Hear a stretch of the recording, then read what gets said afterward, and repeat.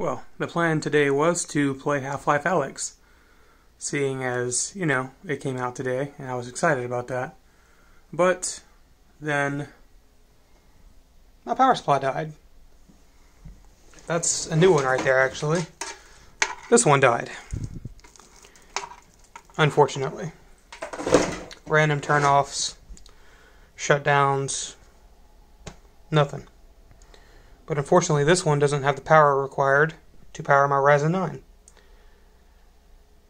Oh well.